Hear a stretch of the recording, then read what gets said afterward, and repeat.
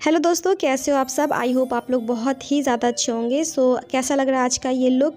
Specially for married girls के लिए मैंने किया है। जिन लोगों की भी रिसेंट शादी हुई है उन लोग ये मेकअप लुक क्रिएट कर सकते हैं। अगर आपके घर में शादी है या फिर कोई छोटा मोटा जो होता है ना फ़ंक्शन पार्टी या रिंग सेरेमनी उसमें भी आप ये लुक क्रिएट कर सकते हो। बहुत अच्छा लगेगा आपके ऊपर बहुत अच्छा जाएगा। बहुत ही गॉर्जस लुक है सिंपल भी लग रहा है एंड जो आपका लिप्स है और जो ईयर है उसके कारण आपका ये मेकअप लुक बहुत ज़्यादा हेवी भी लग रहा है। सो डेफिनेटली आप एक बार ट्राई ज़रूर करना, आपको बहुत ही ज़्यादा पसंद आएगा ये लुक तो चलिए मैं स्टेप बाय स्टेप बताती हूँ कैसे क्रिएट किया है मैंने ये लुक तो सबसे पहले मैं यहाँ पे पॉन्स का लाइट मॉइस्चराइज़र यूज़ कर रही हूँ पूरे फेस पे फॉर हाइड्रेटिंग स्किन एंड उसके बाद अप्लाई कर रही हूँ एन बाई बी का प्राइमर प्राइमर बहुत अच्छा है गाइस बहुत बजट में भी मिल जाएगा आपको।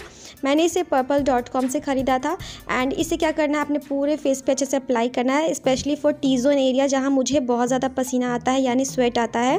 वहाँ पर मैं बहुत ज़्यादा अप्लाई करती हूँ। पूरे फेस पर मैं करूँ ना करूँ, बस यहाँ पे मैं बहुत ज़्यादा करती हूँ। मेरे ओपन पोर्स भी है तो उसको आप कवर अप करने के लिए मैं अच्छे से पूरे फेस पे प्राइमर यूज़ करती हूँ। एंड प्राइमर आपके मेकअप को बहुत ज़्यादा फ्लॉलेस भी बनाता है ओके तो आप ज़रूर प्राइमर यूज़ करना। लिप बाम मैंने निविया का यूज़ किया है एंड यहाँ पे स्विस ब्यूटी का मैं यूज़ कर रही हूँ फाउंडेशन ये मेरा बहुत ही ज़्यादा अच्छा फाउंडेशन है गाइज़ स्विस ब्यूटी का है, यानी स्विस ब्यूटी आपको बहुत अच्छे अच्छे प्रोवाइड करता है मेकअप प्रोडक्ट्स बजट में एंड इसके हाई रेंज की भी अगर आप लेना चाहते हो तो आपको अवेलेबल है ऑनलाइन मार्केट तो आप ले सकते हो एंड मेरा शेड ज़ीरो वन है, बहुत अच्छा फाउंडेशन है वाटर प्रूफ है. बहुत अच्छा फाउंडेशन मैं कितनी तारीफ़ करूँ, मेरा ये बहुत दिनों से मैं इसे यूज़ कर रही हूँ एंड मेरा ऑलमोस्ट ख़त्म होने वाला है सो मैं सेकेंड बॉटल ख़रीदने की तैयारी में लगी हुई हूँ। सो मैं क्या कर रही हूँ, मैं बहुत लिमिट लिटिड लिटिल अमाउंट में मैंने इसे अप्लाई किया, पूरे फेस पे आप देख सकते हो, बहुत कम मैंने यूज़ किया, बहुत ज़्यादा नहीं, क्योंकि आपने देखा मेरा स्किन बहुत ज़्यादा पतला है, मेरी स्किन बहुत ज़्यादा पतली है तो मैं ज़्यादा फाउंडेशन यूज़ नहीं करती कभी भी।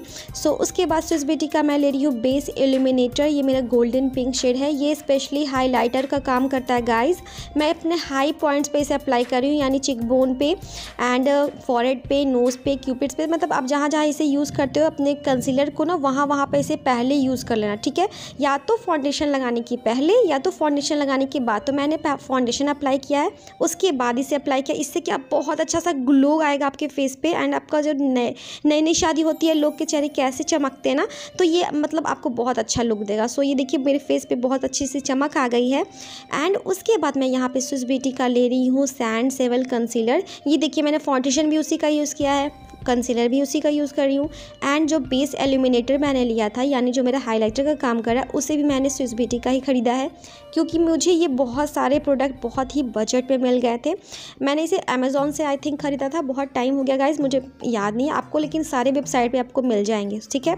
तो कंसीलर को सेम वहाँ वहाँ पर यूज़ करना है। हाई पॉइंट्स पर करती हूँ, जहाँ जहाँ मुझे प्रॉब्लम होती है, जब दाग धब्बे होते हैं पिम्पल्स वगैरह कभी कभी हो जाते हैं, उसको भी बहुत अच्छे से कवर अप करेगा। एंड डार्क सर्कल तो सबको होता है भाई। तो उसको भी कवर अप करने के लिए आप अपना कंसीलर यूज़ कर सकते हो। सो so, ये देखिए कॉन्टोर की एरिया के पास मैंने अप्लाई किया है। थोड़ा सा मैंने स्पेस छोड़ दिया है ताकि वहाँ पर मैं कॉन्टोरिंग कर सकूँ क्योंकि वहाँ पर अगर मैं कर दूँगी ना तो मेरा कॉन्टोर नहीं दिखेगा। यानी आपको अपने कॉन्टोर एरिया से थोड़ा सा नीचे अपने कंसीलर को अप्लाई करना है ओके मैंने आई के अंडर आइज़ को अच्छे से ब्लेंड कर लिया है अपने ब्लेंडर की हेल्प से एंड आप चाहो तो ब्रश से भी कर सकते हो पर अच्छा फिनिश टच आपको ब्लेंडर से ही मिलता है ठीक है? इन बाई का इन बाई बे का मैं यहाँ पे कॉन्टोर स्टिक यूज़ कर रही हूँ। मैं अभी cream based makeup look create कर रही हूँ, इसलिए मैंने इसे यूज़ किया है, ठीक है? अगर आप पूरा मेकअप कर लेते हो कॉन्टोरिंग नहीं की है, आप कॉम्पैक्ट यूज़ करने के बाद अपना पाउडर फॉर्म वाला जो कॉन्टोर होता है ना, उसे यूज़ कर सकते हो। आप यहाँ पर पाउडर फॉर्म वाला बिल्कुल भी मत यूज़ करना, क्योंकि आपका पूरा मेकअप केकी हो जाएगा एंड पैची लगेगा, बिल्कुल अच्छा नहीं लगेगा। एंड जब मैंने फाउंडेशन अप्लाई किया तो वो भी मेरा क्रीम बेस्ड है तो आपको क्या करना है ना, अच्छे से अप्लाई करना है एंड उसको अच्छे से सेम ब्लेंडर की हेल्प से मैं अच्छे से ब्लेंड कर रही हूँ। नोज़ एरिया को आप ब्लेंडर से मत करना, वो पूरा मैसी हो जाएगा तो आप अपना ब्रश ले लो एंड उसको अच्छे से ब्लेंड कर देना, ठीक है? नोज़ को क्या करना, नीचे की तरफ़ ब्लेंड करना है एंड फॉरेड को भी मैं अच्छे से ब्लेंड कर रही हूँ, अपने कॉन्टोरिंग को एरिया को अच्छे से ब्लेंड करना है, ठीक है? ये तो होगी हमारी कॉन्टोरिंग उसके बाद क्या करना, अपने मेकअप को सेट करना है, यानी जहाँ जहाँ आपने कंसीलर यूज़ किया है, वहाँ वहाँ आपने लूज़ पाउडर को यूज़ करो, ये मेरा ब्लू हेवन का लूज़ पाउडर है, इसे बहुत ज़्यादा अमाउंट में मैं लेती हूँ। एंड अंडर आइज़ जहाँ जहाँ अपना कंसीलर आप यूज़ कर चुके हो, इससे क्या होता है ना, मुझे एक चीज़ और अच्छी लगती है। इसको यूज़ करने के बाद ना, बिल्कुल भी स्वेट नहीं आता है, बिल्कुल वो गायब हो जाता है, इसलिए मैं ज़्यादा यूज़ करती हूँ, क्योंकि मुझे बहुत स्वेटिंग होती है एंड मेरी स्किन बहुत पतली है तो मुझे बहुत पसीना आता है, ठीक है? तो ये मेकअप लॉन्ग लास्टिंग भी होने वाला है, इसलिए डेफिनेटली मैं ट्राई ज़रूर करना, ठीक है? अब आई मेकअप की बारी आती है तो सेम सेम कंसीलर को मैं अपने आइज़ के ऊपर अप्लाई कर रही हूँ एंड इसे अच्छे सेम ब्लेंडर की हेल्प से अच्छे से ब्लेंड करना है गाइज़ एक बात ध्यान रखना, कभी भी आई का जो कंसिलर है, उसे दबा दबा के मत यूज़ करना, नहीं तो आइज़ में बहुत दर्द होगा एंड जब आप अपने आइज़ को खोलोगे ना तो आपको बिल्कुल धुंधला दिखेगा इसलिए बिल्कुल हल्के हाथों से। सो so, ये मैं हिलारी रोडा का आई शेडो पैलेट ले रही हूँ। उसमें से ये मरून शेड को मैंने पिक किया है एंड इसे मैं सिर्फ़ क्रीज पे अप्लाई करूँगी एंड अच्छे से ब्लेंड करता है।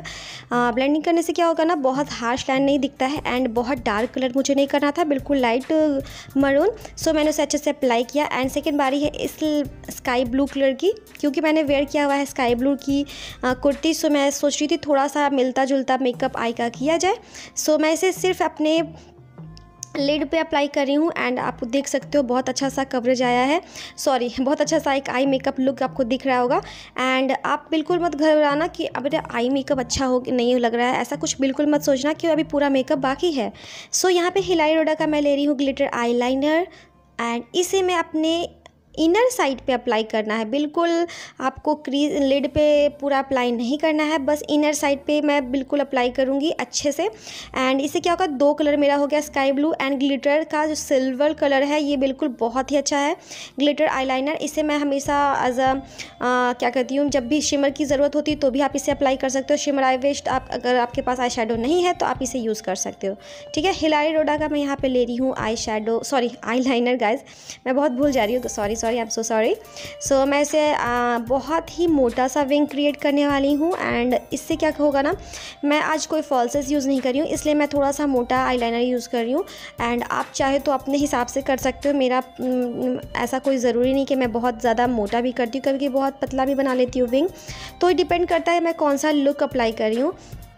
तो ये देखिए, मैंने अपने स्केच पेन टाइप होता है, ये लाइनर बहुत अच्छा होता है, दोनों साइड में कुछ होता है, एक साइड लाइनर होता है, एक तरफ़ आपका सील होता है, जिससे आप अपना कोई भी लुक को थोड़ा सा डिफरेंट कर सकते हो, ठीक है? तो मैंने अच्छे से अप्लाई किया तो उतना अच्छा से नहीं दिख रहा था गाइस इसलिए मैं एन बाई बी का अपना आई लाइनर यूज़ कर रही हूँ, इसे भी मैंने पर्पल से ख़रीदा था। तो क्या होता है ना, जब आप कोई ग्लिटरी यूज़ करते हो ना गिटली ग्लिटरी आई शेडो तो क्या होता है ना उस पर आपका, मेरे साथ होता है आई डोंट नो आपके साथ होता है या नहीं पेन आई अच्छे से नहीं निकल कर आता है। सो so, मुझे ये जो लिक्विड लाइनर होते हैं वो ज़्यादा पसंद होते हैं। मेरे पास है इसलिए मैं यूज़ करती हूँ अपने डिफरेंट डिफरेंट लुक में। सो so, मैं उसको अप्लाई करने के बाद अपना लिक्विड लाइनर भी ज़रूर यूज़ करती हूँ ओके सो मैं थोड़ा सा आगे की तरफ़ भी इसे निकाल रही हूँ ताकि मेरा थोड़ा सा आई ड्रामेटिक लगे एंड थोड़ा सा डिफरेंट लगे ओके सो उसको करने के बाद स्काई ब्लू कलर को मैं अपने वाटर लाइन के नीचे में अच्छे से स्मच कर रही हूँ। यानी आपको ब्लेंड करना है थोड़ा सा स्मच करना है एंड ये हो गया मेरा eye makeup complete and last बचता है आईब्रो क्योंकि बिना आईब्रो फिल किए तो आपका लुक डिफरेंट लगेगा बिल्कुल अजीब लगेगा।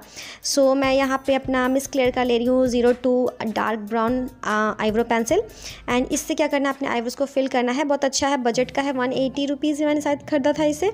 बहुत दिनों से मैं इसे यूज़ कर रही हूँ आई थिंक डेढ़ साल हो चुका है या दो साल। एंड देखिए आपको दिख रहा होगा बहुत ज़्यादा मैंने ख़त्म भी कर चुकी हूँ। एंड बचा हुआ है लास्ट का तो मैं इसे अच्छे से अप्लाई करूँगी। एंड उसकी ब्रश एप्लीकेटर से अच्छे से ब्लेंड कर देना है।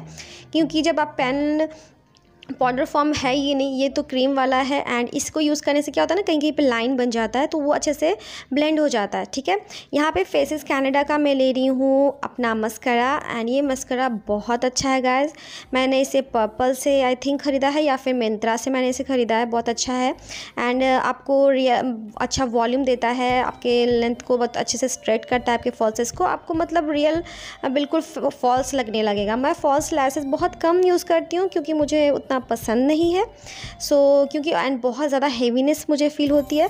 तो मुझे लगता है आई थिंक आपके साथ भी ऐसा होता होगा तो आप भी लगाना पसंद नहीं करते होगे तो मैं इसलिए नहीं यूज़ करती हूँ। ठीक है मैं ब्लश यूज़ कर चुकी हूँ। आई डोंट नो मैंने क्या यूज़ किया मुझे ध्यान भी नहीं है। यहाँ पर मैं ले रही हूँ सिवाना का हाईलाइटर सैम्पन कलर मैं इसे पिक कर रही हूँ। फोर्स आपको हाईलाइटर मिल जाता है एक ब्राउज़र भी मिल जाता है आपको।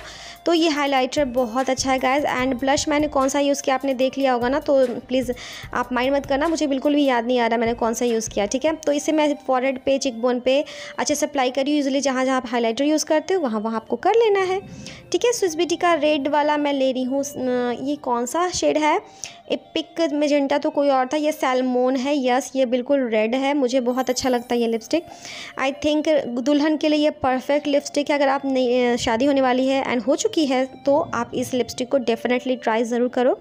बहुत अच्छा है सबसे अच्छा प्लस पॉइंट है कि ये बहुत देर से जाता है पानी पी लो अपने फेस को अच्छे से धो लो तब भी ये नहीं जाएगा। सो so, कैसा लगा आपको मेरा आज का मेकअप लुक मुझे ज़रूर बताना यस अगर वीडियो अच्छी लगे तो मेक श्योर मेरे चैनल को क्या करना है सब्सक्राइब करना है मेरे चैनल को कर देना सब्सक्राइब वीडियो अच्छी लगे तो कर देना है लाइक शेयर भी कर देना है एंड कॉमेंट के थ्रू मुझे ज़रूर बताइएगा आपको ये कैसा लगा मेरा आज का लुक एंड डेफिनेटली इसे ज़रूर ट्राई करना. सो so, कल मिलती हूँ अच्छे से वीडियो के साथ. टिल दिन बाय बाय